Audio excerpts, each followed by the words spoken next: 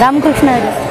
मी हरिभक्ती पारायण सौभाग्यवती रुपाली ते रामेश्वर महाराज सवनी परतूरकर आज आपण आहोत समाधीचे राजे अलंकापूर निवासी विश्वमाऊली ज्ञानोबाराय यांच्या अलंका नगरीमध्ये अलंकापुरीमध्ये म्हणजेच आळंदी देवाची या पवित्र ठिकाणी. आपण पुण्यसलीला इंद्रायणी मातेच्या पवित्र घाटावरती आणि पवित्र तीरावरती आहोत.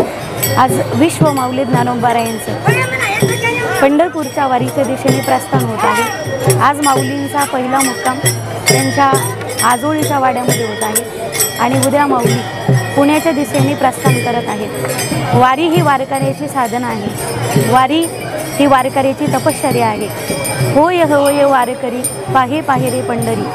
किंवा पंढरपूरची वारी केल्यानंतर प्रत्येक व्यक्ती मोक्षाचा अधिकारी होऊ शकतो हे वारकरी संप्रदायाने दाखवून दिलं. पंढरीचे वारकरी ते अधिकारी मोक्षाचे. संतांची तर वारीची आवडच आहे. माझ्या जीवीची आवडी पंढरपुरा नेनगुडी वारकरी संप्रदायाची वारी केल्यानंतर माणसाच्या जीवनातून काम क्रोध मद मत्सर मोह द्वेष या सगळ्या भावना समूळ नष्ट होतात.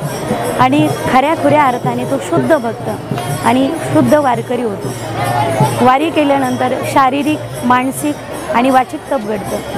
पंढरपूरच्या वाटेने तो ज्ञानोबाराय तुकोबारायच्या जयघोषामध्ये पायाने पदयात्रा करतो. तो वाचेने ज्ञानोबा तुकोबाराय आणि सकल संतांचा जयघोष करतो.